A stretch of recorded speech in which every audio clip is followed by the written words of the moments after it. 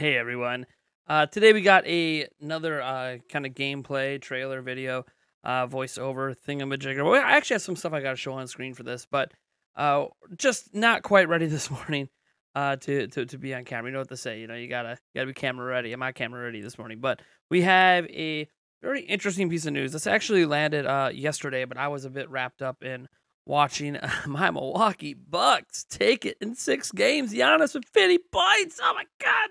Uh, but setting that aside, uh, we actually have a update on a massive leak at Nintendo. So what happened was a couple years ago uh, that that this guy, um, I'm not going to give out his exact name. He's already been been sued to high heavens by Nintendo and um, is going to be in jail for some time. um, basically hacked into Nintendo's servers, internal servers, got got a hold on a bunch of internal game files, uh, emails, and all that.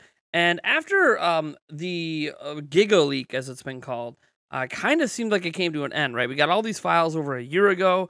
Uh, the guy's now, you know, done and in jail. Suddenly, we're getting more. We suddenly have more information from this Giga leak. I'm not even sure how this happened, um, but here we are, and that leak, that hack, is still giving us new information. So we're going to talk about all the information we got today. None of this, by the way, is anything that is pertinent to future games, but this is a good look at Nintendo's history, including some games on Switch. Uh, but before I get into that, I got to remind you we are giving away a Switch OLED. Uh, so if you would like to win a Switch OLED, it's super simple. Just be subscribed to the channel. That's it. Winner will be announced live in early October.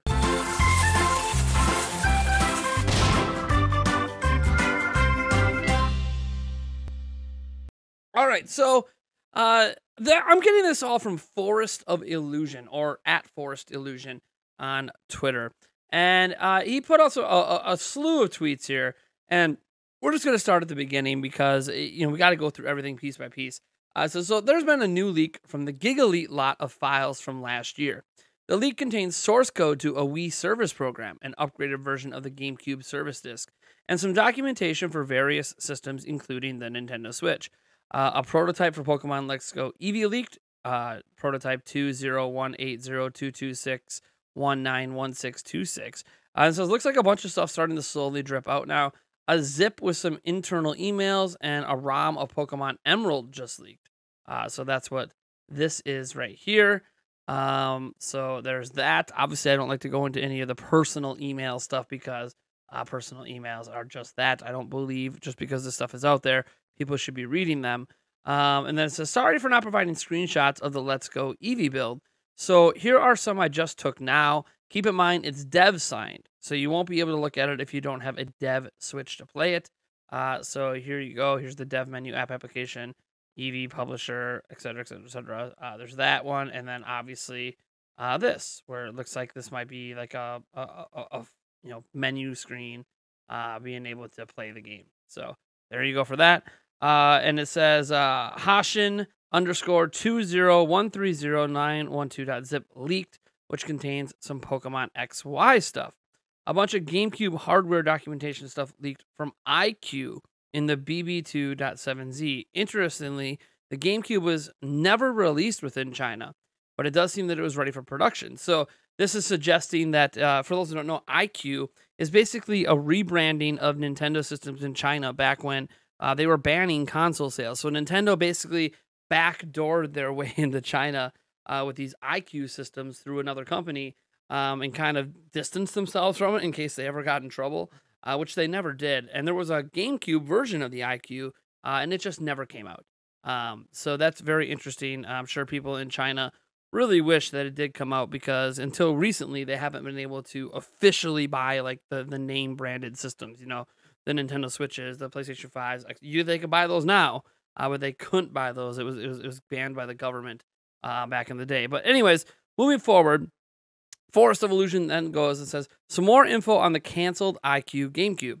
They wanted the system to be capable of DVD slash CD playback, uh, as well as uh, not be able to play regular GameCube discs. So very really interesting. So they were going to have their own sort of discs, and they weren't going to play the normal GameCube discs uh, and be CD and DVD capable, which to me is a big deal because Um, yeah, like there was a, a DVD CD capable GameCube uh, that came out in Japan only, but so few of them actually came out that it, it really didn't feel like much of a thing. Uh, but here's a, this is a working document is to define the next 3D interactive entertainment system for iQue to sell in China. The system, also known internally as BB2, is based on the Nintendo GameCube technology. The market requirements and high-level pro- product product definitions of BB2 are discussed in the sections below. Assumptions: cost is a major driving factor when new features are decided. The lifespan of a game console is on average to last at least four years.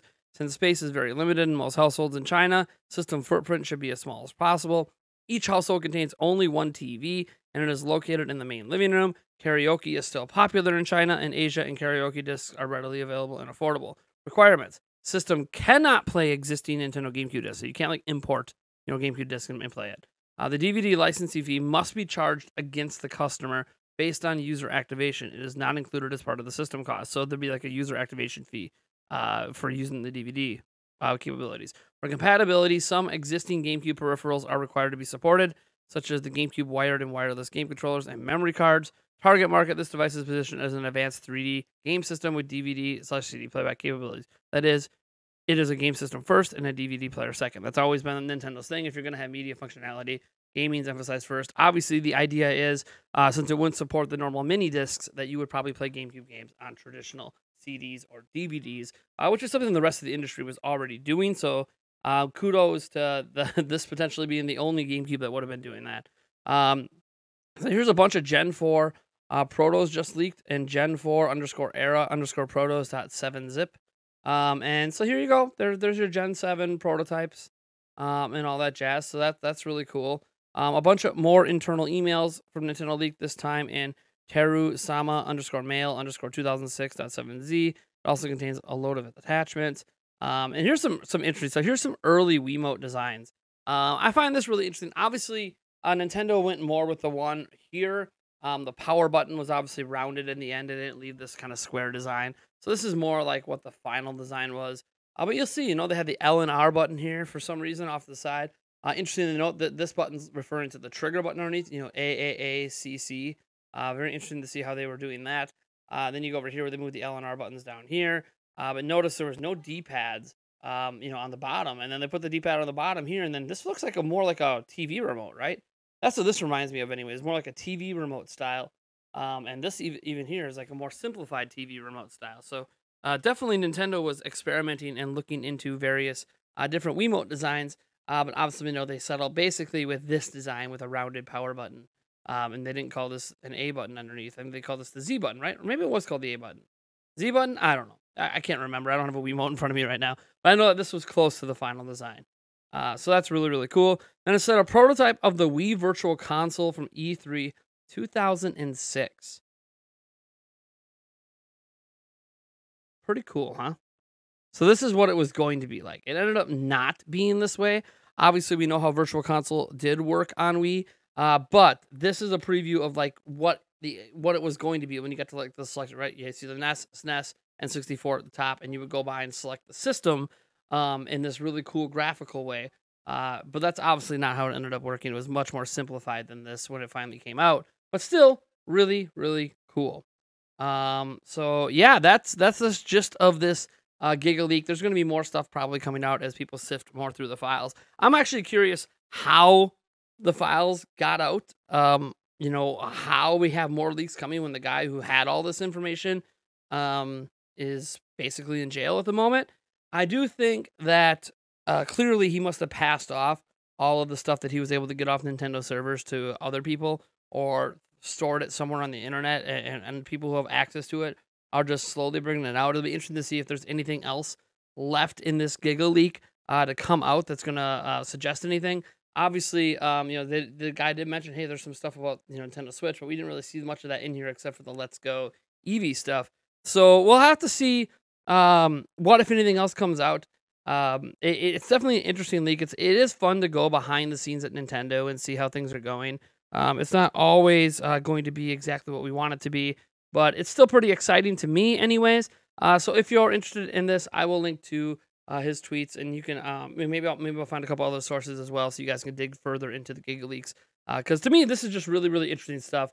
Um, I'm I'm really um I, I just like getting behind the scenes at Nintendo, even though technically this came through an illegal means, but it's you know it's been a while now. This information's out there. What are you gonna do? We're here to report what's out there. This is what's out there. So uh, thank you guys for tuning in. I am Nathaniel Rovajets from Nintendo Prime, and I'll catch you guys in the next video.